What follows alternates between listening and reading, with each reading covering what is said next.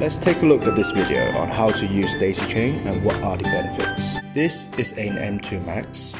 One single M2 Max can accommodate up to 15 participants. Let's take M2 Max for an example. First, you need two pieces of M2 Max and a daisy chain cable. Take one of your M2 Max and connect it to your computer via a USB to C cable or you can choose different methods like using the dongle or Bluetooth for more flexibility. Then you could use your daisy chain cable to connect both M2 Max together. Once you have connected both M2 Max together, you need to click on the power button on the second M2 Max to power on. The source light of the first M2 Max will be green and the second M2 Max will have an ice blue source light.